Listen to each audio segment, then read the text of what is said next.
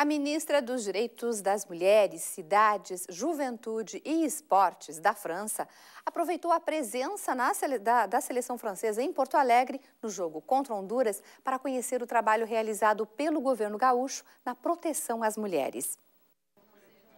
A ministra Najavaliu conheceu o Centro Estadual de Referência da Mulher, Vânia Araújo Machado. Ela foi recebida pela secretária de Política para as Mulheres, Ariane Leitão, e pelo secretário de Segurança Pública, Ayrton Michels.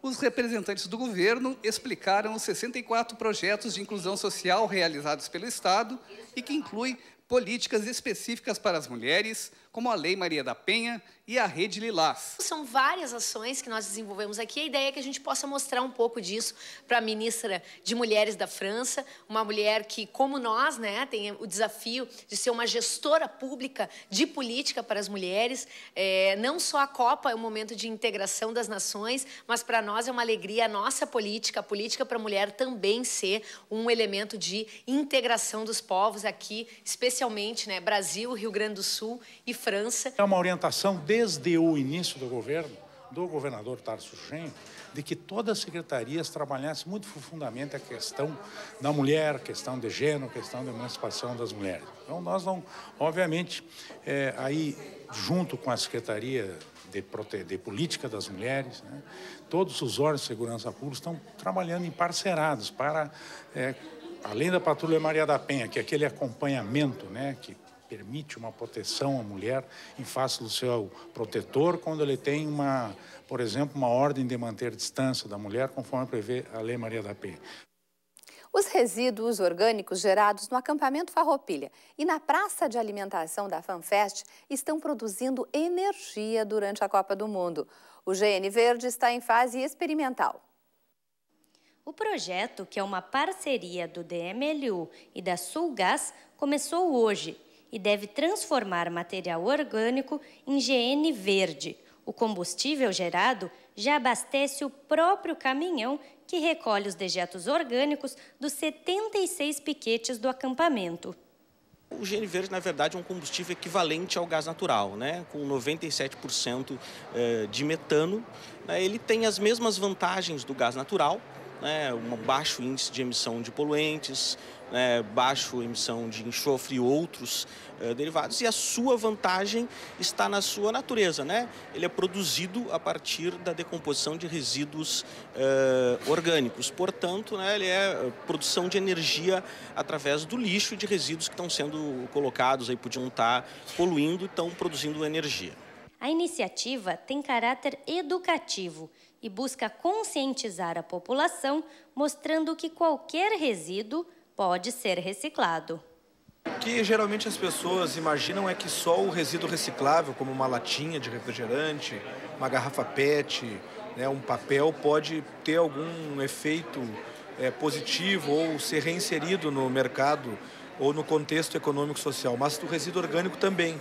Então é muito importante que as pessoas é, escolham, tanto na FanFest como no acampamento, o recipiente adequado para fazer o descarte do o resto do alimento que consumiu, né, aquilo que é considerado resíduo orgânico, porque ele também é um grande exemplo sustentável esse movimento que está sendo feito e as pessoas também devem criar essa consciência.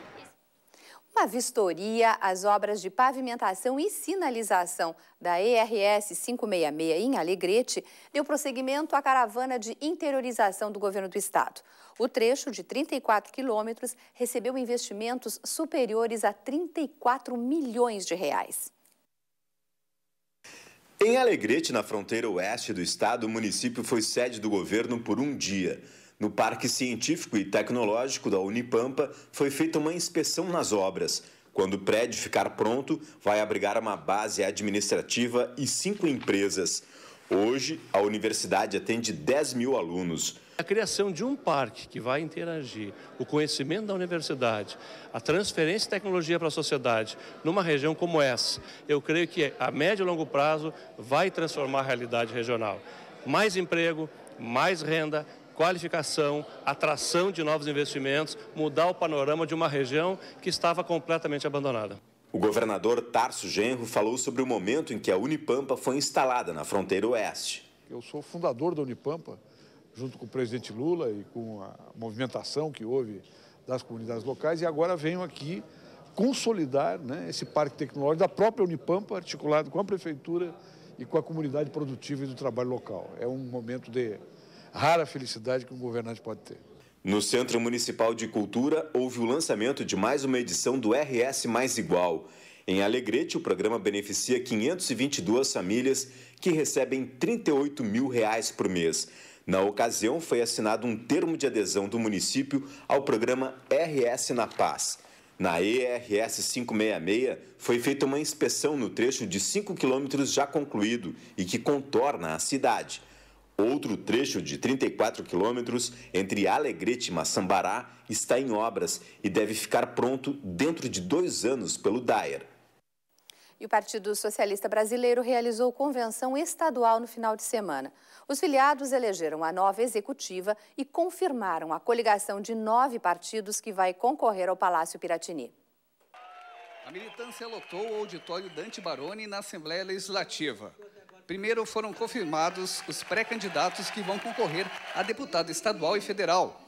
Depois foi confirmada a coligação da chapa majoritária que une PSB, Rede, PMDB, PSD, PPS, PT do B, PSDC, PHC e PSL. O pré-candidato ao Senado será o deputado federal Beto Albuquerque. Vamos agora fazer um bom debate para o Rio Grande, discutir com a sociedade, não tem conosco não tem essa de falar mal dos outros, de enxergar defeitos nos outros. O PMDB gaúcho participou da convenção estadual do PSB. O senador Pedro Simon e o pré-candidato ao governo do estado, José Ivo Sartori, estiveram presentes para reafirmar a coligação.